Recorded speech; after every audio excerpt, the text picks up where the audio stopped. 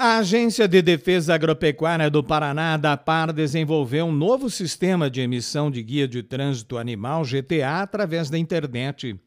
A veterinária Nathalie Moraes, do escritório regional da ADAPAR em Pato Branco, explica que o novo sistema vai agilizar e facilitar a vida dos proprietários de animais. A emissão das guias será para os produtores que tiverem cadastro de exploração pecuária junto à ADAPAR e que poderão utilizar o sistema. O produtor ele poderá emitir a GTA através da sua residência, não precisa se deslocar até um escritório da DAPA para emitir essa GTA. Até então era só presencialmente, o que gerava inclusive fila, por exemplo, na sexta-feira, é, onde os eventos de final de semana exigem né, a guia, e aí agora vai ficar mais fácil. Isso, fica bem mais fácil. Realmente é, gerava bastante fila nos escritórios em épocas de eventos agropecuários. Agora o produtor ele então tem essa facilidade.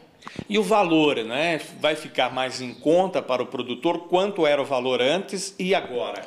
O valor dependia da quantidade de animais que ele ia transportar por carga, mas vamos colocar por volta de 23 reais cada emissão de GTA.